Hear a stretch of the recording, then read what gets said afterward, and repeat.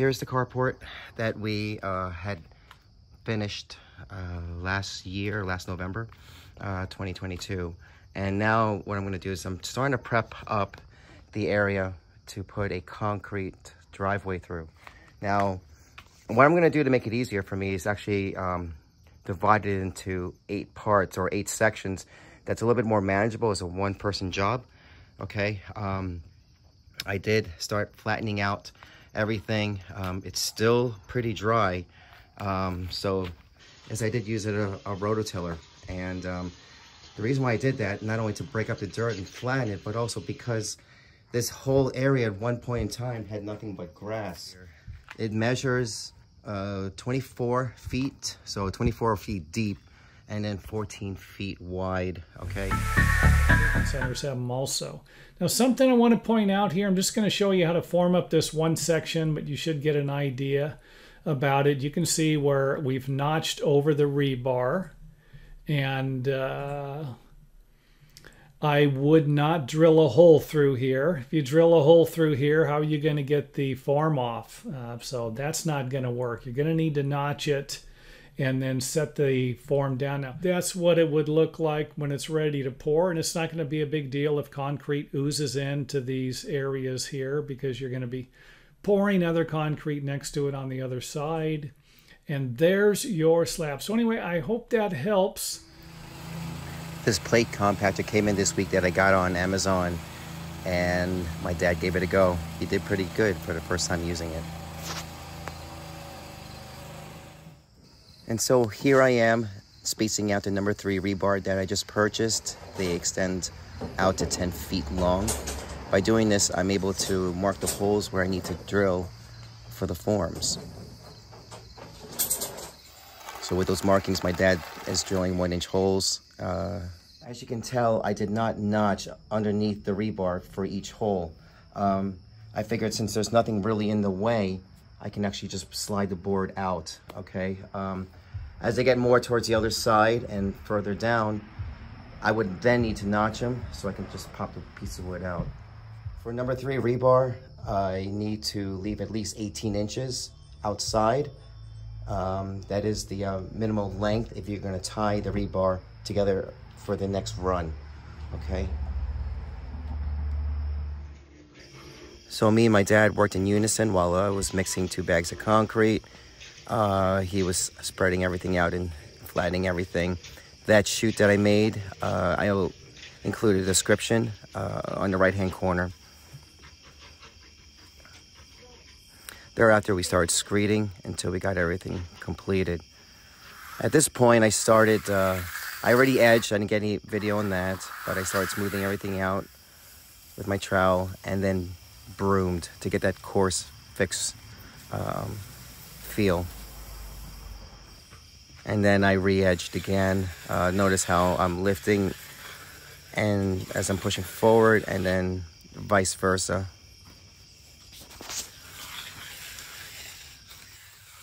Wow, that was hella hard to do, um, and that's also with help. Um, first things first, make sure you wear longer sleeves. Uh, that was my mistake. I didn't think it would be this messy. I did wear mask um, and gloves, but it doesn't matter because it still went on my skin anyway. Uh,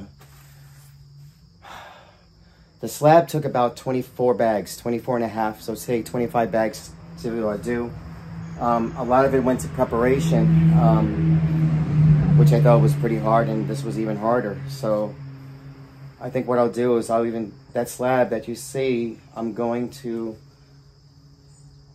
cut that in half.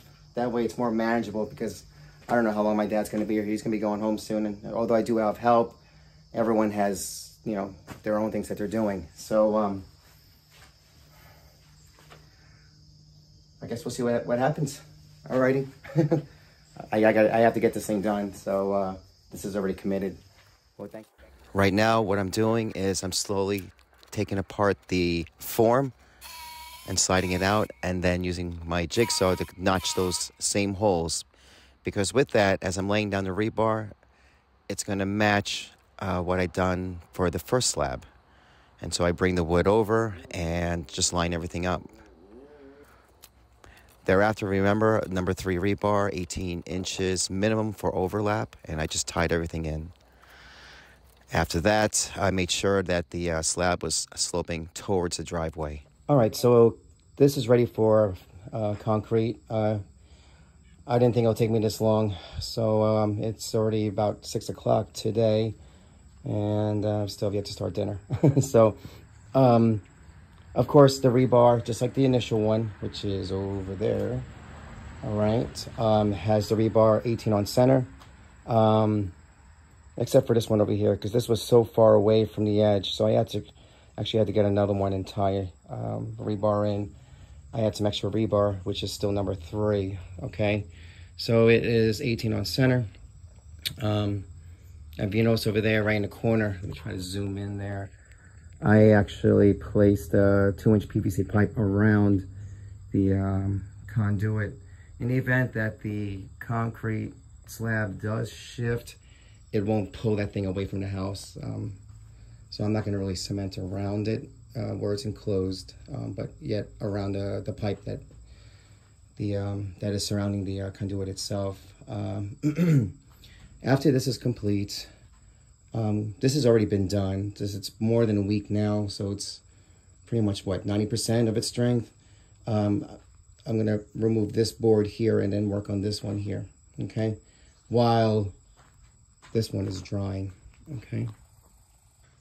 Now, the form on this side, the frame on this side, is actually the wood that I used over here. I just pretty much slid it on over, but because I won't be able to slide it out, um, I actually notched it, and this is what Greg Van Com had um, recommended. Cement will, some cement will come over this, through the hole and onto the side, but as mentioned through his video, it is going to be concrete over anyway, okay?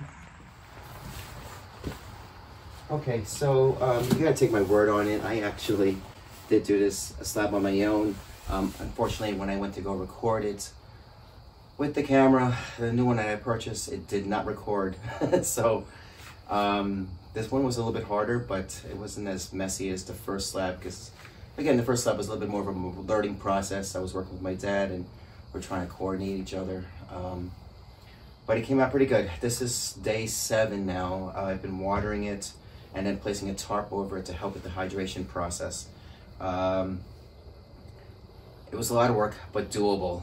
And um, looking forward to starting the next few slabs. Now it's supposed to get cooler as as we near the end of September, but still um, warm enough for the concrete to settle. My main, main goal is at least for the first 72 hours after dropping the concrete that it stays warm. Uh, that way it doesn't freeze over and halt the uh, curing process. Okay, um, I did use a hand mixer. Let me try to get it here. I did use this thing. I've seen a lot of YouTubers using it, and um, with concrete, I want to make sure that uh, once I start the project, there's no stopping uh, until you reach the other end. Uh, so in the event that this fails, I actually bought a second one um, will I need to use it? Hopefully not. Uh, but at the same time, I don't want to mix or hand mix um, several bags to um, uh, complete the concrete. That's going to be a little bit too uh, too much manpower for one person. Okay. So back to the compactor, uh, making sure everything is flat. Thereafter, I start drilling holes in the new forms to be made for the next slab. And after that, notch them and you'll see it right there where the rebar will be. I wanted to keep the uh, piers and the uh, slab uh, separate from each other um, because it will shift and move, especially with these thawing out and uh, heaving process. So I just used a Loctite glue to keep it on there. Thereafter, uh, ran the rebar all the way through and tied each one down. A bit of a tedious process, but it has to be done. Soon after, uh, I also added rocks on the outside of the forms to keep the rebar out. Okay, so I have everything I need all together, so I'm not searching for everything.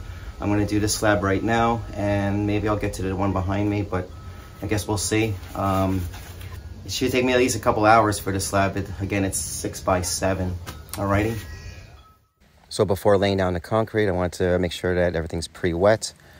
I found it a lot easier than when mixing these bags to do them in like halves.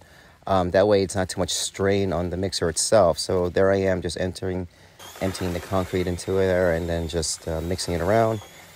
Soon after I just add a little bit more water and repeat the process again. I do this about 24 times. Keep in mind, I don't have my dad with me, so um, you know this is one way to go. I think that using the other mixer is a two-person job. And there is the final product for that slab, just watering it down and putting tarp over it to allow for the hydration process.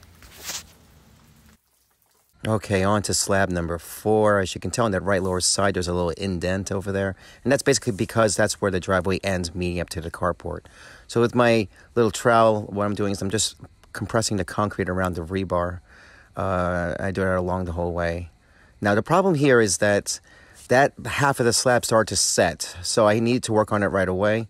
And so I edged and broomed and then edged again. And then uh, on the next slide, you'll see that's with one bag left to go. And it's the same process as before. Okay. Brooming it and then edging it once again. It's been close to three hours now. Um, it's still a little moist, but it's getting there. Um, obviously, this half over here is going to dry much quicker than the other one because that, one was just freshly poured earlier. So as this is drying, um, I'm going to start prepping up the middle part. Now this part's gonna be a lot easier to do. Is because uh, the these two slabs back here and the two on the front are already leveled with each other with a little bit of a slope towards the driveway. Uh, so that way I don't have to do anything else such as putting up two by sixes anymore, um, which kind of takes out a lot of the time forming the, uh, uh, the slab form, okay? Now, what I'm gonna do with this area here is the same thing, but I'm gonna offset it a little bit. So rather than kind of just follow this line going across, I'm gonna set up the next slab right in the middle of it, okay? So it's still gonna be six by seven um, slab, but the, uh, the two ends will be a lot shorter, a lot smaller. So I'm, I'm basically just cutting that in half. So that won't take as much work as the larger one. So I'm just measuring the uh, expansion joint for the next half slab and using rocks to keep it up towards the house. And here is the uh, small part of the form that I'm removing. Here I am tying the rebar where two meet at every intersection and then watering the concrete slab as well as the gravel so it doesn't sap up the water from the mix. Now here's a, another angle of what I'm doing. I'm just really pressing the concrete down to avoid any air pockets as well as around the rebar for it to have a good grip. And uh, this is what it looks like now after I'm done. Okay, so I actually completed one half of the uh, the first slab. The other half is going to be on the other side, and uh, I'll probably do like maybe sometime at the end of the week. Um, in a couple days, I'm going to start the middle half. Okay, the uh, the half slab. I actually took my time with that. I there was no rush, and I'm still hurting from the night from the day before. Okay, so uh, I'm gonna give this time to dry and go on to the next uh, project. Uh, keep in mind, I'm not gonna do in the video on the other half. It's gonna be the same thing as any other slab here, okay? So I didn't find much on YouTube regarding putting a slab around the pier. So what I'm doing is I'm really keeping it separate from each other by using an expansion joint. The pier is actually below frost line, but the slab is basically just floating. So with that heaving process, it might pull or crack the slab or the pier. I thought this was helpful. And now on to slab number six, removing the forms on all sides. Notice how I'm using the uh, pry bar as well as the mallet and the ground to actually pop those forms out. Now with this form here, I'm using it on the opposite side because it has the grooves, but also making sure that it's straight because it may warp on you. I don't have a grinder, but I did use a hacksaw and uh, that's what it looks like after it's done. Thereafter, mixing the cement and patting everything down so there's no uh, voids. And um, on the next slide, you'll see I'm working into the late hours and uh, smoothing everything out. Okay, so I am done for the season. I still have two more slabs to go on back there. So let me kind of just walk around here and show you what I've done. Okay, so here is what it looks like in its entirety. Okay, I did not do that part down there. And the reason why is because uh, the weather just got really cold. Um, I'm doing this now into October and my last slab that I placed down is right over there. So I uncovered it, but I am using blankets and tarp to keep it warm while it's uh, curing. I, I have no idea what happened here. You can tell how it's curved out. um, this has been cured. Um, it's day seven now, so next year I'll just drop that Sika, that self-leveling. I mean, I can't really fix that anymore because what's done is done.